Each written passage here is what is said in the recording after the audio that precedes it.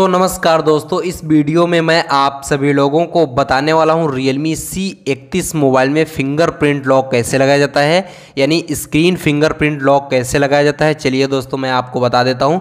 इसके लिए फ्रेंड्स आपको करना क्या होगा, आप अपने मोबाइल के दोस्तों सेटिंग को ओपन कर लीजिए। मोबाइल की सेटिंग ओपन होने के बाद फ्रेंड्स आपको स्क्रॉल डाउन करना है। उसके बाद यहाँ पर सिक्योरिटी का दोस्तों ऑप्शन देखने को मिल जाएगा, इस पर आप क्लिक कर दीजिए। उसके बाद यहाँ पर फिंगरप्रिंट का दोस्तों ऑप्शन देखने को मिल जाएगा, इस पर आप क्लिक कर दीजिए। अब फ्रेंड्स यहाँ पर जो भी आपके मोबाइल का स्क्रीन लॉक है, वो दोस्तों अपना आप डाल दीजिए।